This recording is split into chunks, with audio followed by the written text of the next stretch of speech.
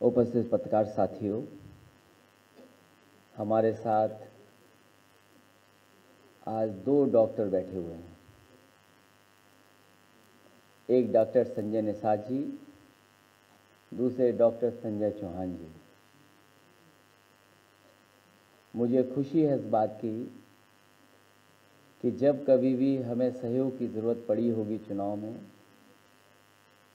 इन दोनों नेताओं ने इनके संगठन ने, इनके सभी सहयोगी साथियों ने हमारी मदद की है और इस समाजवादी आंदोलन को आगे बढ़ाने में सहयोग किया है। मैं उसके लिए भी इन दोनों नेताओं को धन्यवाद देता हूँ और बधाई भी देता हूँ।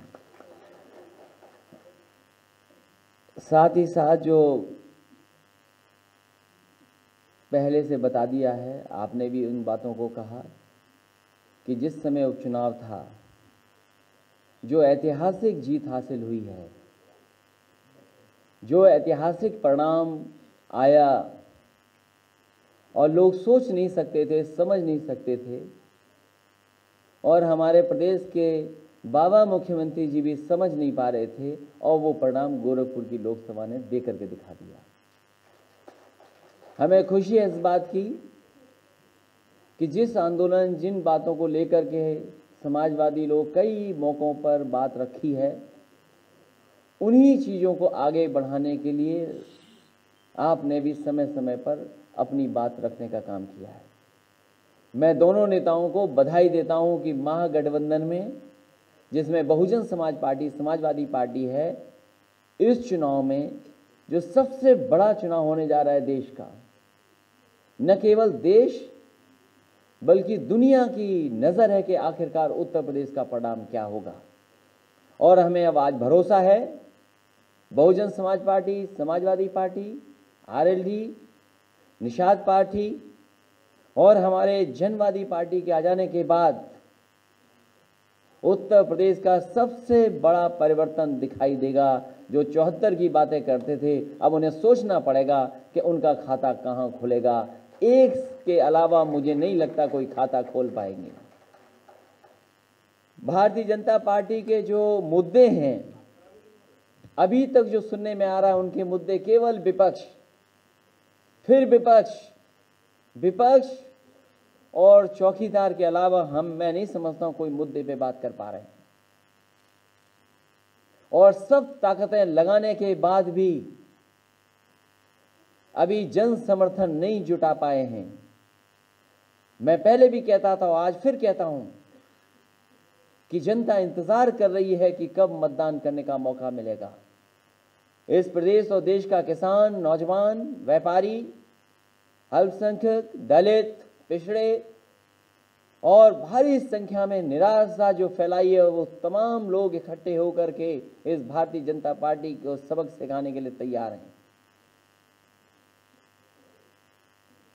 हमारी समाजवादी पार्टी की टीम अध्ययन कर रही है कि आखिरकार पढ़ाई और रोज़गार से वंचित करने के लिए ये जो साजिशें हो रही हैं, उसका अध्ययन कर करके हम आपके सामने भी उन बातों को रखेंगे। आखिरकार ये साजिश क्यों हो रही है और कौन लोग कर रहे हैं? पढ़ाई ना हो पाए, रोज़गार न मिल पाए इसका अध्ययन कर करके बहुत जल्दी आपके बीच में भी हम समाजवादी लोग बात रखेंगे वहीं हमारी टीम इस बात का भी अध्ययन कर रही है कि बहुत बड़े पैमाने पे गरीबों की योजनाएँ चल रही हैं। समय समय पे योजनाएँ बनती हैं, बदलती हैं, लेकिन अभी भी गरीब खुशहाल नहीं हो पाया है। और उत्तर प्रदेश की समाजवादी सरकार ने कभी कभी उदाहरण पेश किए जब सत्ता में आए।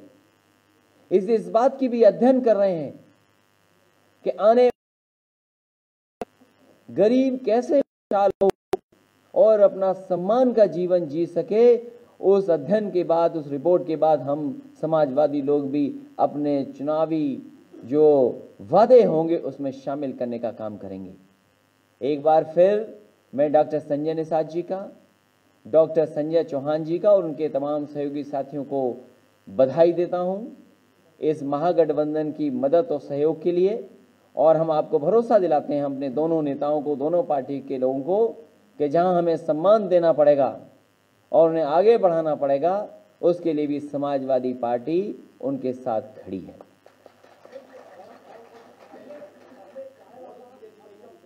आप उसकी फ़िक्र न करें, ये हम लोग बहुत जल्दी तय कर लेंगे जैसे जैसे चरण के चुनाव आएँगे वैसे वैसे सूची आपको मिलती रहेगी।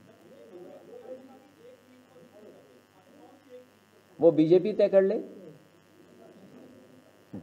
जैसे मैंने आपसे कहा था कि दो शपथ लेकर के ढाई लोग देश को चला रहे हैं तो आधा आप तय कर लो कौन है।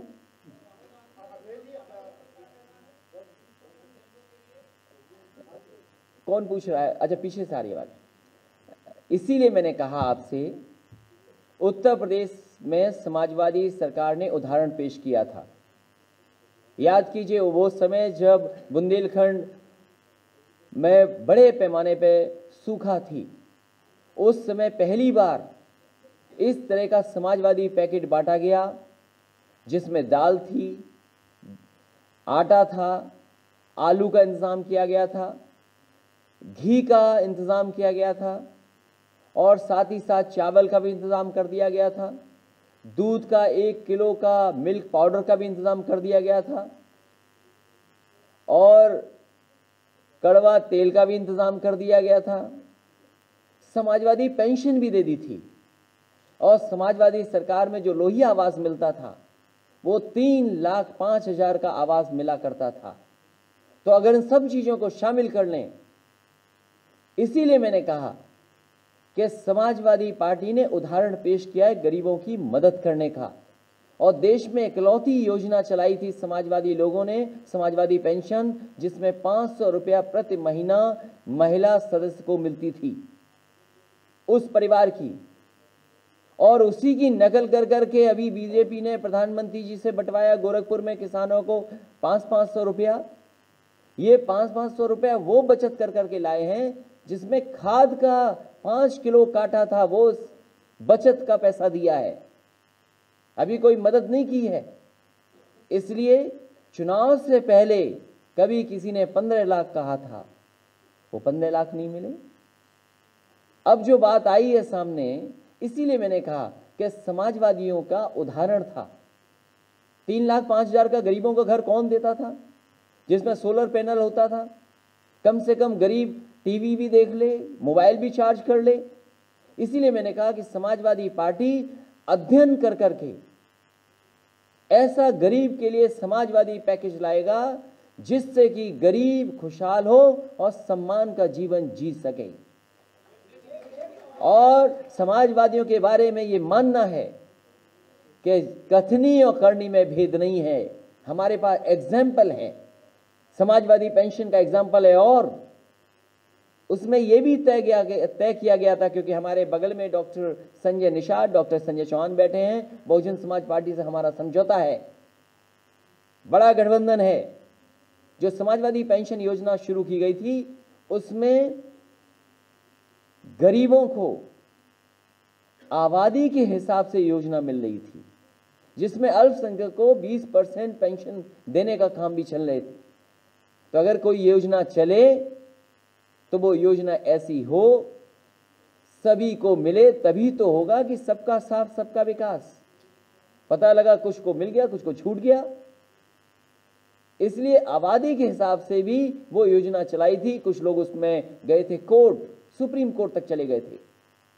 लेकिन आपको याद होगा, हाई कोर्ट में भी हम सम्मान करते हैं हाई कोर्ट का कि हाई कोर्ट ने भी हमारी सरकार की योजना को वैसा ही लागू करने के लिए सलाह दी और सुप्रीम कोर्ट ने यहाँ तक कहा कि इससे सुंदर योजना गरीबों के लिए नहीं हो सकती है और खासकर हमारी माताओं बहनों के लिए वो योजना हमने शुरू की थी।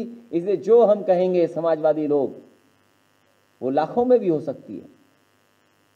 और समाजवादी लोग तो देने का काम करते हैं, मदद करने का काम करते हैं। लैपटॉप भी एक उदाहरण है।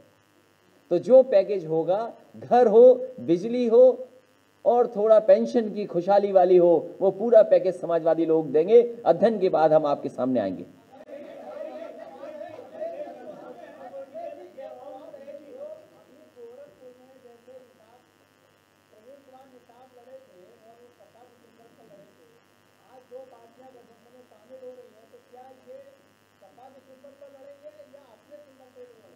ये फार्मूला हम आपको नहीं बताएँगे।